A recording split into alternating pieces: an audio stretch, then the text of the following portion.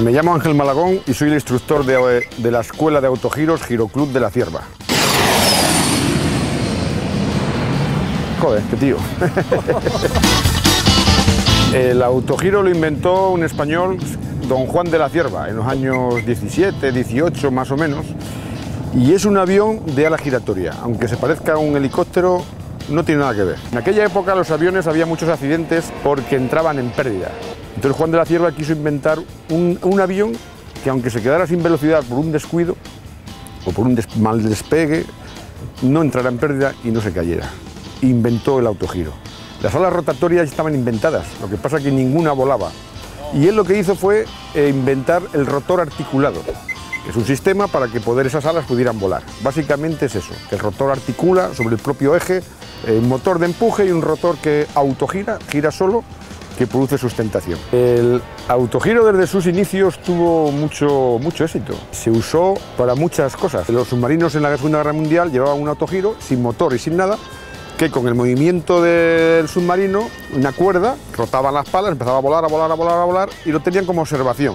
Por ejemplo, en Nueva York, el edificio de correos usaba los autogiros para el edificio que estaba en Nueva York, que era muy alto, los autogiros aterrizaban en la terraza y transportaban el correo al aeropuerto.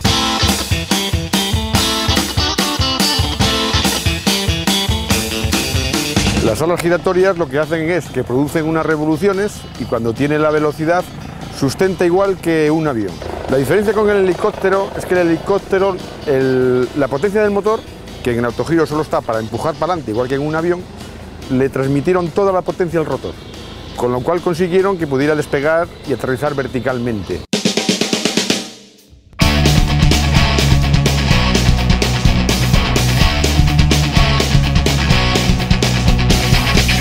cómo se pilota un autogiro o cómo funciona un autogiro.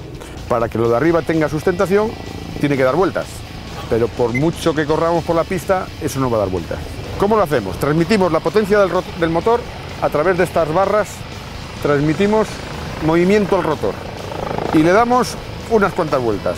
Entre más vueltas le demos, más acortaremos la carrera de despegue. Cuando tengamos todas las vueltas que queremos para despegue, soltamos y ya el propio viento del movimiento de despegue, del correr por la pista, le va entrando viento al rotor y el rotor se va acelerando por el viento, como un molino de viento.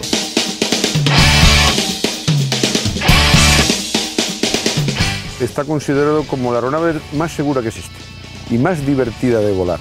De hecho, de todas las ventas del mundo de la aviación, el autogiro es la que más, más avance tiene, lo que más se vende. Ahora mismo en España tenemos una de las mejores fábricas mundiales que se llama El Aviación y es una de las eh, fabricantes eh, a nivel mundial más importantes. En nuestra escuela, el Giroclub de la Cierva, eh, formamos pilotos de autogiro. Son cursos muy económicos, todo está al alcance de todo el mundo y todo el mundo puede ser piloto de autogiro. Hacemos vuelos de iniciación. ¿Qué quiere decir? Son vuelos de aventura. Digamos, sería una iniciación al pilotaje suficiente para saber exactamente lo que es un autogiro. Bueno, y ahora viene, viene lo bueno, lo que todo el mundo esperaba. Vamos a volar.